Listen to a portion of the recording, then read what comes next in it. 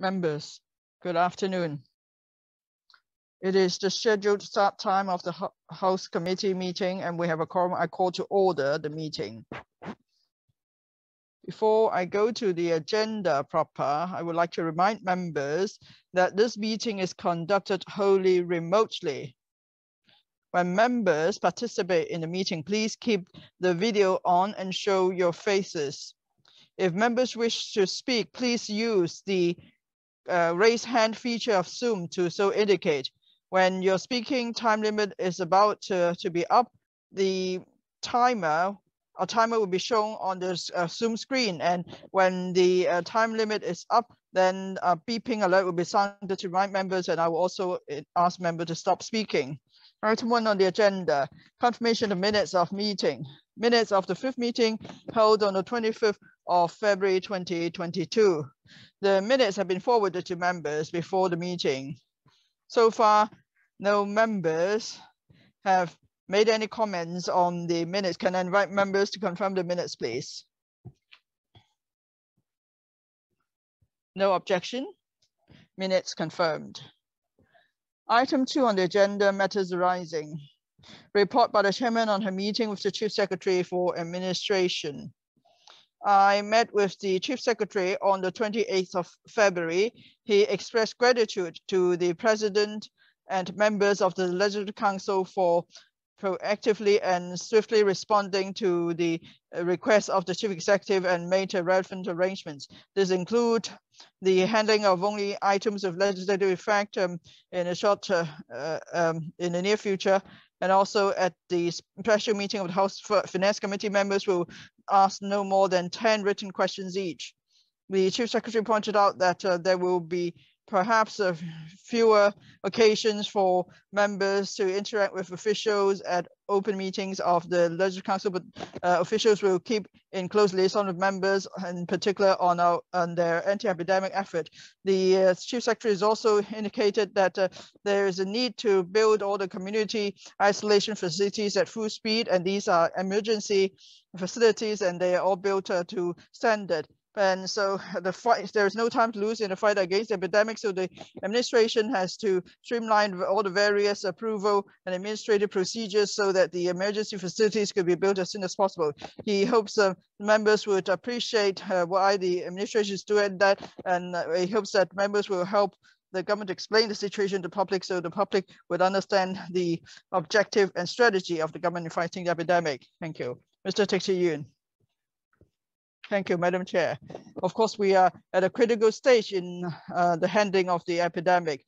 Yesterday, the chief executive announced uh, openly that uh, at the beginning of next week, perhaps Monday, she would um, be announcing a bold step to be taken, and I welcome that because we need to have uh, uh, goals, we need to have strategy, we need to have directions, and we need to have resolve in fighting the epidemic but can the chief secretary come to the House committee to explain what the government plans to do in the next stage. Now, I'm not trying to waste time uh, or take up the precious time of officials, or rather if officials could come here to explain their latest strategy to us, then for members of this council and political parties, then we'll know how we could um, support and work with the government on this. So we are distributing masks every day, but is there anything else we could do in this new action plan?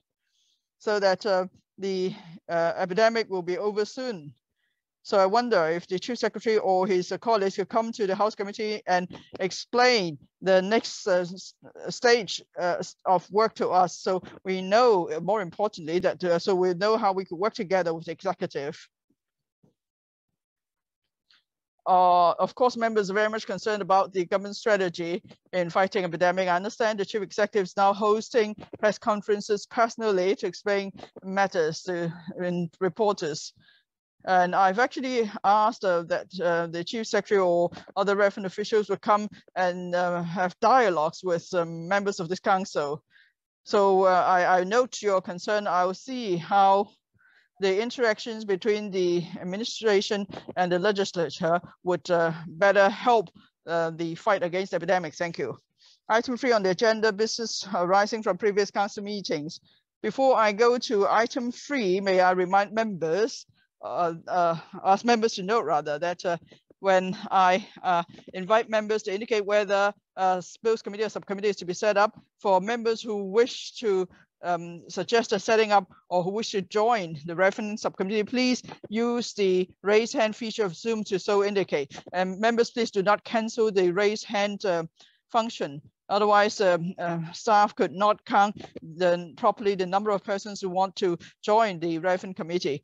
And after the items is dealt with, I'll invite the staff to clear or to cancel all the raise hand uh, feature, um, icons. A, Legal Service Division reports on bills referred to the House Committee in accordance with Rule 54, bracket 4.1. Employment Amendment Bill 2022. Can I invite the legal advisor to take us through the bill briefly? Thank you. Thank you, Madam Chair. The report is uh, L paper number LS 12 stroke 2022.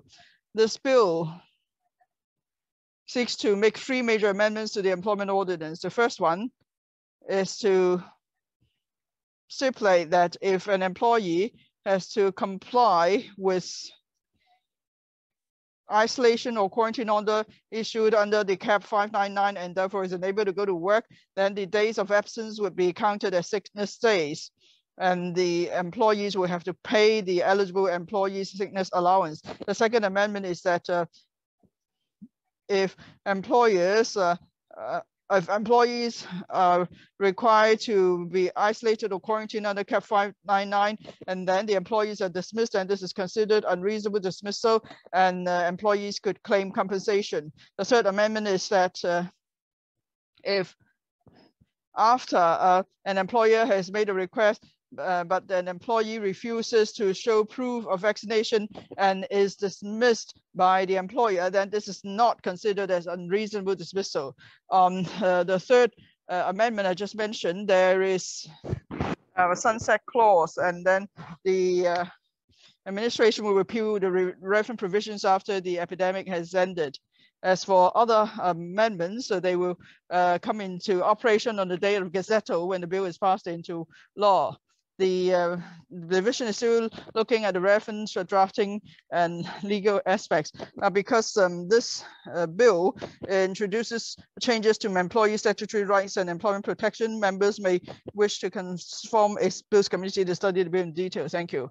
Members, if you wish to form a bills committee on the bill, please use the raise hand function of Zoom to so indicate. As for members who wish to join the Bills Committee, please also use the um, raise hand feature of Zoom to so indicate. I see Mr. Peter Shiu, uh, Mr. Lai Tung-kwok, Dr. Wang Yunshan, and so on. Uh, have um, indicated their wish to form a Bills Committee to join the Bills Committee, I will ask the clerk to make note of that and then we'll issue notice to members later. Now, if uh, staff members have um, uh, jotted down all the names, please uh, clear the raise hand icons.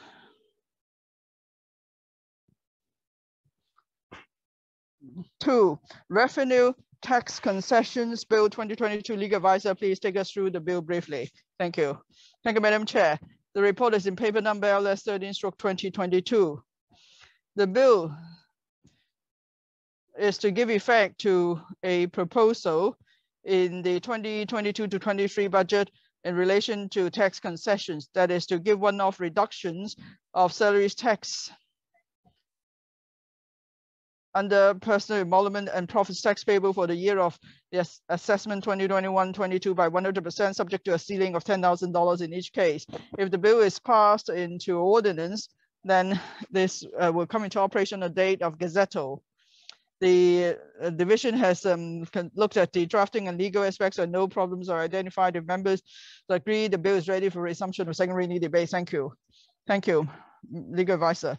Members, if you wish to form a bills committee on the bill, please use the raise hand feature of Zoom to so indicate.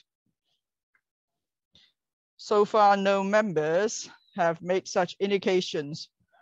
If there are no members uh, with other views, then the bill is ready for resumption of second reading debate.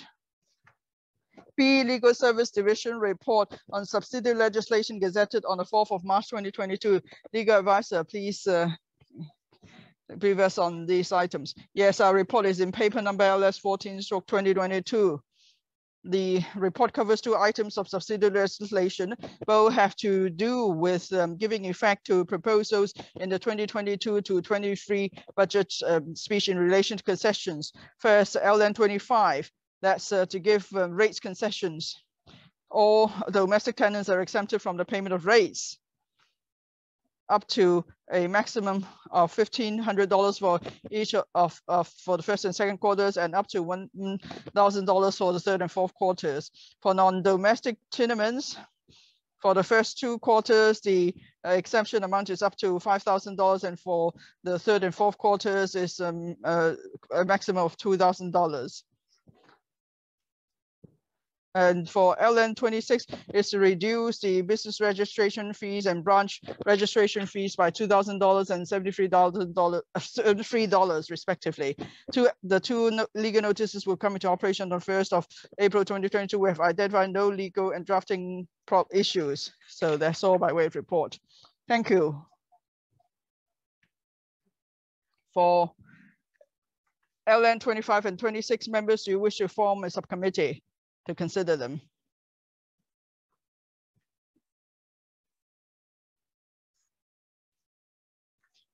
No. Then we'll move on. C, uh, Madam Chair, there's one member, Mr. Tony Tse. Mr. Tony Tse, do you wish to form a subcommittee? Yes, Madam Chair. Well, please note, in accordance with uh, the uh, House rules, if there are fewer than three members who want to uh, form a bills uh, subcommittee, then we cannot form the subcommittee. So I can ask members to click the raise hand function to ask to form and join the subcommittee. So only Mr. Tony Tse. Mr. Chair, I would suggest that you follow up on the relevant matters uh, uh, through other channels. If necessary, we could give you assist, uh, assist as appropriate. C, Legal Service Division report on subsidiary legislation gazetted on the 11th of March 2022. Can I invite the legal advisor to take us through the report briefly, please? Yes, our report is in paper number LS 16 stroke 20 to 20, uh, 22. Uh, the, it covers one item, that is LN 27, is to amend schedule second, the second schedule of the dangerous drugs ordinance, uh, which is uh, the list of hospitals and institutions, is to um, update um, the list um, as appropriate. Please refer to paragraph one of the report for the details.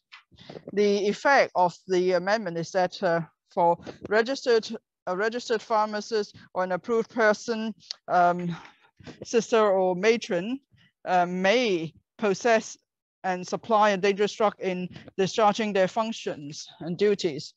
The uh, LN will come into come into operation on the 6th of May 2022. We have not identified any difficulties in relation to the legal drafting aspects. Thank you.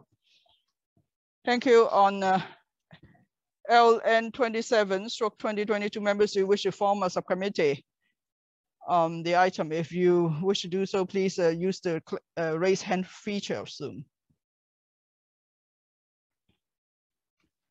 If not, if I may remind members, for the three items of subsidiary legislation, if you wish to make amendments, the deadline is the 6th of April, the council meeting of the 6th of April. Item number four, business for the council meeting of 23rd of March 2022 according with the instructions issued prior by the LegCo president, the coming LegCo meeting will only deal with items with legislative effects. A, laying of papers on the table of the council. Report number 4 slash 2022 of the House Committee on Consideration of Subsidiary Legislation and Other Instruments. The report carries four pieces of subsidiary legislation, the period for amendment of which will expire at the council meeting that day. No members indicated that they would like to speak on such subsidiary legislation. B, bill first reading and second reading. Temporary protection measures for business tenants, COVID-19 pandemic bill. The House Committee will deal with the above bill next Wednesday, which is March the 25th. Item number five, business for the council meeting of the 30th of March 2022. government motion. Proposed resolution under the road traffic ordinance to be moved by the Secretary for Transport and Housing. I now invite the legal advisor to walk us through the proposed resolution. Chairman. The, Um, the LSC report is carried in LS 15 2022 and um, the resolution seeks to further extend the effective period of the current limit on the number of registered public light buses for five years until the 20th of June 2027. In September 2021, the Transport Department consulted the local public transport trade on whether the existing PLB cap should be retained and the trade largely agreed. And in February, an information paper was sent to the panel on transport. And the paper was noted at the panel meeting held on the 15th of February. No difficulties were identified in the legal and drafting aspects of the proposed resolution. Thank you very much. Mr. Frankie Yik raised his hand and also Dr. Tik Chi-yuen. Mr. Frankie Yik, please. Chairman, the Secretariat issued an updated version to the report today.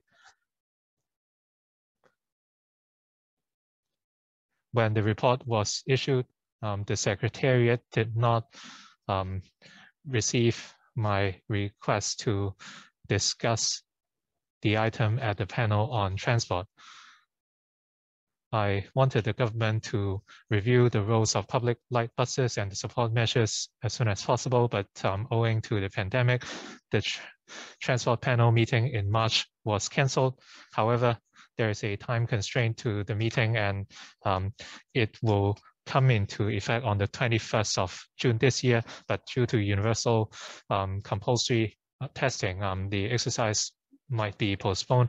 That is why um, I called for a discussion on the item on another occasion. And we will be able to raise this item at the council meeting on March the 30th, so members may raise their views then.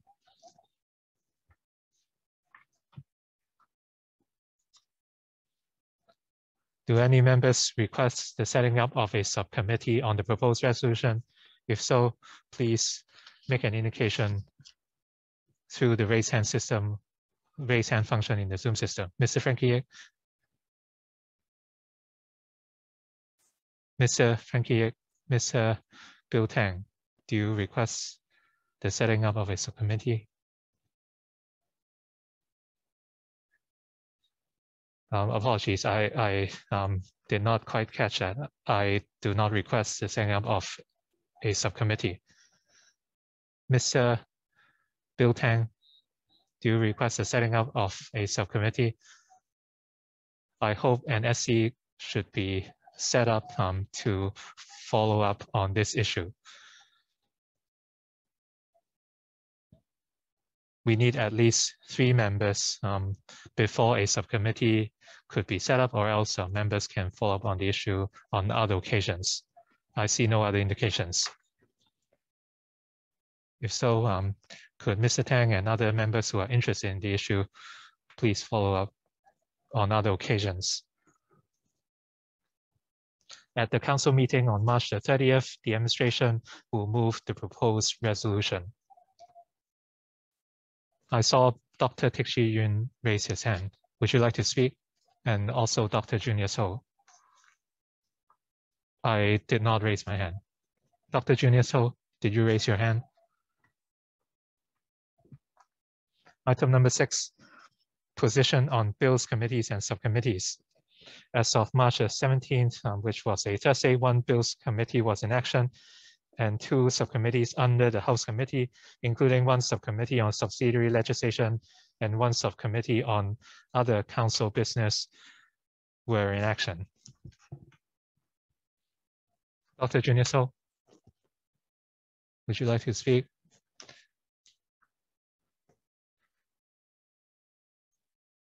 um, I support the um, proposal from Mr. Frankie Yik to set up a subcommittee. Um, less than three members requested the setting up of a subcommittee, so members who would like to follow on the issue can do so at the panel on transport and communicate with the government officials. Any other business? Dr. Junius Ho. Any other business? If there's no further business, the meeting's adjourned. Chairman? Um, sorry, I um, could not unmute myself. You asked whether uh, members supported the setting up of a subcommittee together with Mr. Frankie Yik, so I raised my hand. So together with other members, I believe we had three. Mr. Frankie Yik, um, I'd like to confirm whether you intended to set up a subcommittee. Um, correct, I did. I didn't request the setting up of a subcommittee. Um, as the chairman of the panel on transport, Mr. Frankie Yik said that the exercise um, had time constraints. As such, he did not propose the setting up of an SC. Since there were less than three members, I suggest members can follow up at the panel or work directly with officials. There's no any other business today. The meeting's adjourned.